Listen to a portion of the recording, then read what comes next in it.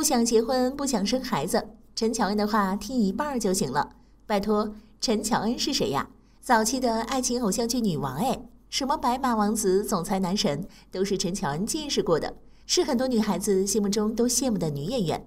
可是跟男神搭戏的陈乔恩却没什么感觉，单身 solo 了几十年都没有遇到良缘，因此陈乔恩水泥封心，决定不结婚、不谈恋爱、不生小孩的独立主义。这些想法通通都在遇到艾伦以后发生了改变。在父母的强势要求下，陈乔恩参加了芒果台的综艺《女儿们的恋爱》，认识了男嘉宾艾伦。艾伦是个既幽默又内敛的男生，低调的让人一开始都没发现他是来自马来西亚的富豪家庭。但是经济实力并不是吸引陈乔恩的主要部分，真正让陈乔恩动心的是艾伦温和的脾气，事无巨细的贴心。在节目上偶然的一次机会。陈乔恩去到了艾伦家里，意外发现艾伦把陈乔恩送的礼物都好好的存放在了家里的展示柜子里。就这个小小的贴心举动，让陈乔恩觉得自己受到了这个男生的重视，自己真的有被艾伦放在心上，开始有了更进一步的想法。但陈乔恩虽然不怎么谈恋爱，也懂得要循序渐进，对待感情还是很慎重的。所以陈乔恩在节目上的时候就试探性的询问艾伦。你可以接受你的另外一半不想生小孩吗？艾伦听完的第一反应也不震惊，而是在脑海中浅浅地重复了一下问题，有点疑惑，但不多。对比起隔壁的吴永恩，艾伦的确是个很有涵养的男人了。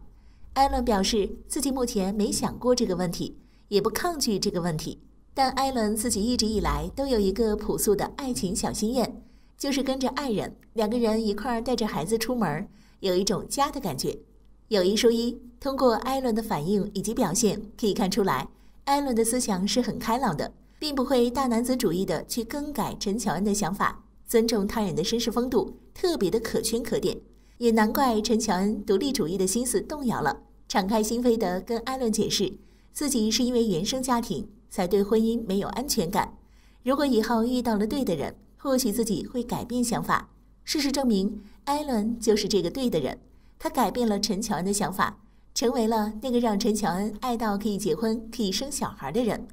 在人生选择题这档节目里，陈乔恩透露自己确实没有把生小孩这件事提上日程。主持人华少就问道：“那你有给自己设置一个生小孩的期限和底线吗？”陈乔恩的答案是在自己四十五岁之前，刚刚好在这个年龄段里面，亲妈芒果台就把艾伦送到了陈乔恩的面前。两人相知相爱，从爱情走进婚姻。